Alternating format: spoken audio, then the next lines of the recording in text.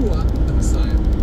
May we please ask you to take a few seconds right now and pray for Jews and Arabs to come to know Yeshua, the only way to.